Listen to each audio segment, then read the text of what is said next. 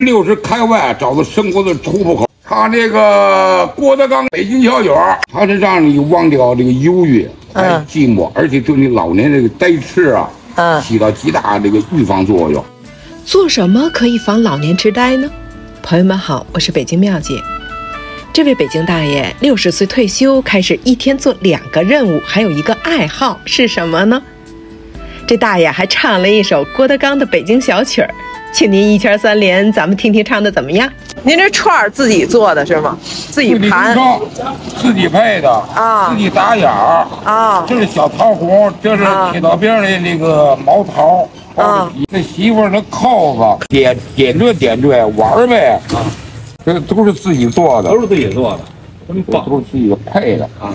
什么叫玩意儿啊？你要不喜欢啊，多值钱也一文不值，对。对是吧？，没错。万物都可以盘，我我就喜欢。喜欢这玩意儿，您这爱好挺好的啊，不看啊手机，对，啊，这辈子六就是六十开外，找到生活的突破口，总得有活下去。嗯，六十以后开始打坐，开始好歌，嗯。哎，好歌不错，嗯。哎，它是让你忘掉这个忧郁、哎嗯寂寞，而且对你老年这个呆痴啊，嗯。起到极大这个预防作用。哎你得想词儿了，啊，是不是？你不对。读书不看报，你脑子里边就跟那个自行车那个轴似的，对，适当得转转，没错你得想词儿啊，嗯。不是爱学习。啊，您再给我们吼吼吼两句，对呀来一个。吼两句真好。您对来，您唱个，他那个郭德纲这小曲儿，北京小曲儿，可以，太棒了。好夜肩上肩，哎柳叶遮满天。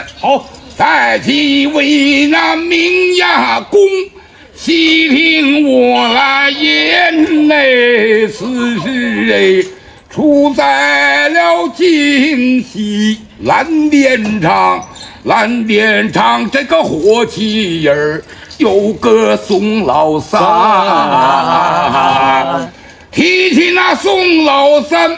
哎，两口子卖大烟，一辈子无有儿，做上个女儿婵娟呐、小妞儿哎，年方一十五了，起了个陆明儿，荷花丸子叫大脸，真好，真棒啊！棒！你六音不全，大驴嗓门儿，哎 哎，要的这劲儿，我要这个，我要唱得好，我就上金华大道，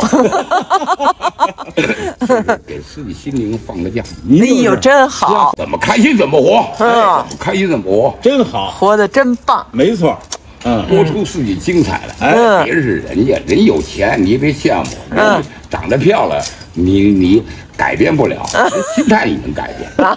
你他妈长得漂亮，那但你的气质能改变，对，气质没错。对嗯，有些事儿你改不了，啊，心态能改改。心态心态心态能改。